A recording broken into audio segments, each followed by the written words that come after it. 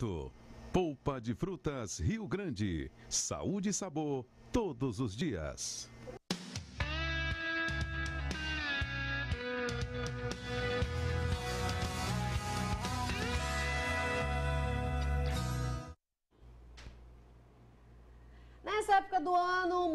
Muitos casais, famílias, jovens, adolescentes, pessoas sozinhas aí procuram pousadas e hotéis aí para curtir férias, mini férias, ou então só tirar um tempinho aí de conforto, tranquilidade, né?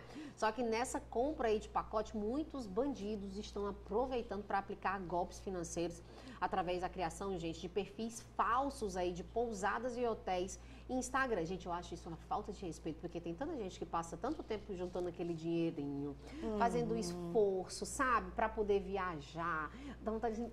Oh, meu Deus, dá vontade de matar doutora Adriana. Hum. Pelo amor de Deus. E isso está acontecendo com tanta frequência, né, Demais. doutora Adriana? Muito mesmo.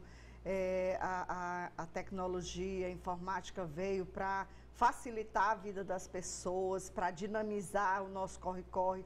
Mas, infelizmente, no meio de dessa, dessa tendência que a gente tem a, a, apressar as coisas, a, a torná-las mais fáceis, é, a internet acabou sendo um meio de golpistas se dar bem. Mas, Stefânia, eu sei que é, muitos se aproveitam, às vezes, da, da ingenuidade da pessoa, do desconhecimento das pessoas, para, infelizmente, é, cometer esse tipo de golpe mas eu também tenho um alerta a, a fazer as pessoas em si. Stefânia, diversas vezes a gente já esteve aqui falando de golpes, Várias, falando de boletos é. falsos, falando de, de promoções que são tão, tão promoção que você tem que desconfiar, gente, tá? não, não, não existe, ninguém está dando por dar certo? E uma coisa, você vê uma pousada dessa, você abre o Instagram, porque hoje em dia as redes sociais também vendem, né? Doutora, o que eu acho mais incrível é que eles, eles têm o trabalho inteiro de fazer um Sim, Stefânia, vagabunda fotos. desocupada. Mulher, pelo amor de Deus, como é que pode isso? Exatamente, é lógico que eles vão fazer a coisa mais aproximada da realidade possível. Então ele atrai o, o, o, o a vítima é pelas imagens, é. pela promoção. A pessoa e... vai olhar e dizer assim, ah, não é de verdade, olha aqui tá as fotos. Mas aí tem um detalhe, você está vendo essa promoção, você abriu aquele site,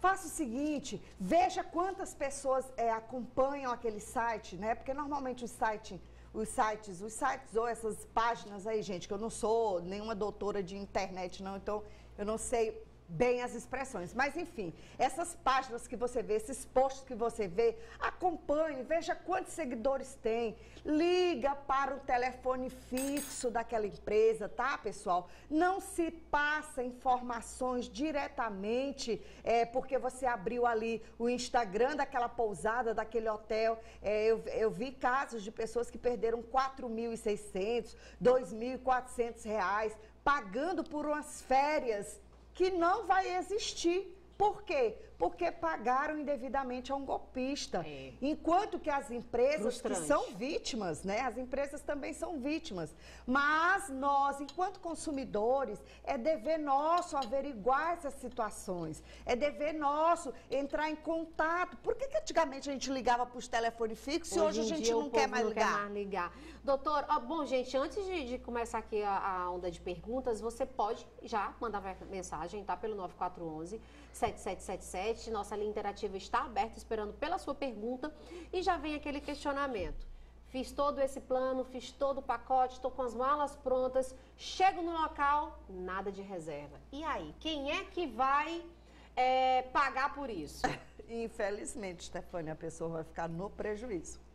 Porque, olha, quando se trata de dinheiro, e eu disse que ia botar uma nota de 100 reais no meu bolso para chegar aqui e apresentar. Porque muitas vezes as pessoas, elas, na hora que vem promoção, na hora que vem a facilidade, elas correm. Lógico que nós estamos falando de uma situação um pouco diferente, que é a situação de uma pessoa que foi lá, viu na internet, achou que era verdadeiro, passou seu cartão de crédito, né, fez uma transferência, um Pix, enfim transferiu aquele dinheiro e quando chegar lá, a pousada de fato não é a pousada verdadeira, não é o hotel verdadeiro, infelizmente, infelizmente a própria empresa não é responsável em te ressarcir esse prejuízo, né? Faltou, no caso, para você a devida cautela de examinar, ligar para aquela, aquela pousada, ligar para aquele hotel, verificar se é isso mesmo, se está de fato acontecendo essa promoção. É tão frequente as pessoas caírem em, em golpes simplesmente porque são atraídas pela facilidade. Não estou dizendo que é o caso específico, porque muitas pessoas de boa fé acham que aquele é o valor do pacote e tudo mais. Mas já que você vai colocar dinheiro, já que você vai levar a família, não custa nada se precaver, não custa nada verificar entre em contato. Se a empresa existe há muito tempo, liga para a empresa, confirma com a empresa. Se é algo novo, vai lá no site de busca, reclame aqui, veja se existem reclamações, gente. É um site que todas as vezes que você receber um link, uma promoção muito interessante, muito atraente, vai, vai lá, lá no site, reclame aqui com.br, coloque o nome dessa empresa e veja se há reclamações contra ela. Mas, doutora Adriana, eu quero mandar um abraço bem aqui pro meu amigo Marcelo, que está acompanhando a gente, acabou de me mandar uma foto, ele está perguntando, vai lá, vai fazer a viagem, chegou, não tem hotel, e aí? E aí, Marcelo, é dar para trás.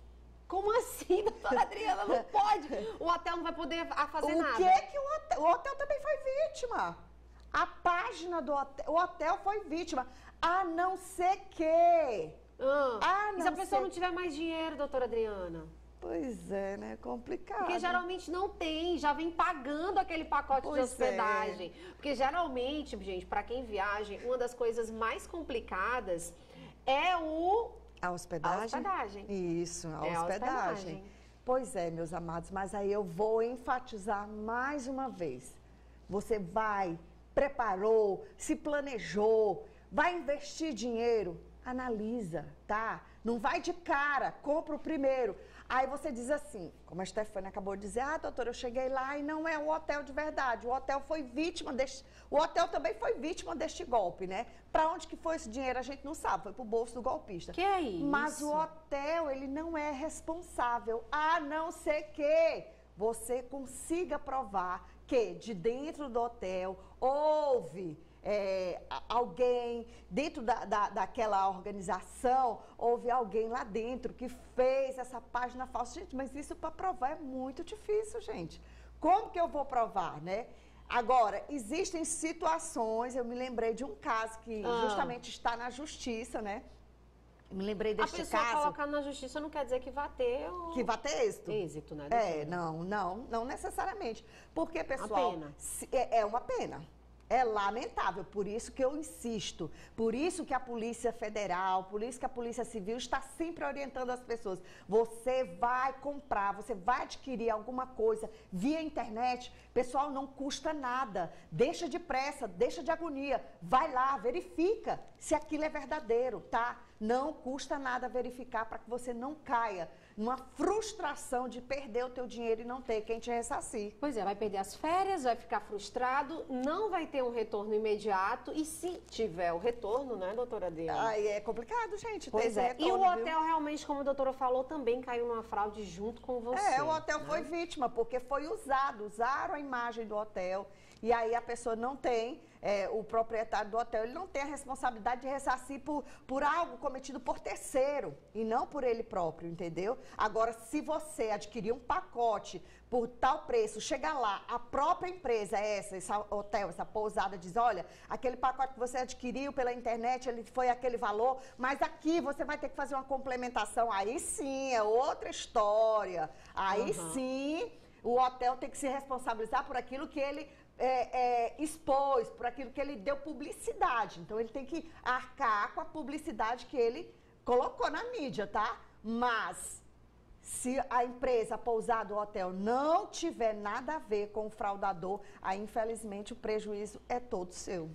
Gente, tá aí casos e casos que acontecem na vida real das pessoas, né? É, é vida real, né, doutor? Infelizmente. É, é, verdade. Isso acontece não só nessas situações de passeio de viagem, mas acontece também com boleto falso, acontece com promoção falsa, acontece com ligações falsas, com propostas falsas. Então, pessoal, como a gente diz, a pressa do dia a dia nos impede de fazer essas verificações. E, e por causa desta pressa de fazer essas verificações, a gente acaba caindo no golpe, tá? Então, todo cuidado é, é pouco. pouco. É verdade, viu, gente? Bom, esse foi o nosso tema de hoje, gente. Sugerido por você aí de casa, tá? Nosso telespectador. Lembrando que você aí pode estar sempre sugerindo, falando com a doutora Adriana. Coloca o Instagram da doutora Adriana. Você pode mandar diretamente para a doutora Adriana, pode enviar também pelo Instagram aqui do nosso programa, arroba pgmrevista.mn, tá? É, alguém caiu aí no golpe, quis que a gente falasse, infelizmente, meu amigo, minha amiga, você é vai ter que... Arcar com seu próprio prejuízo, Arcar infelizmente. com seu próprio prejuízo, né, doutora? A minha cara de felicidade que a filha passou na OAB. Uhul! Parabéns! Ah, falando nisso, eu quero parabenizar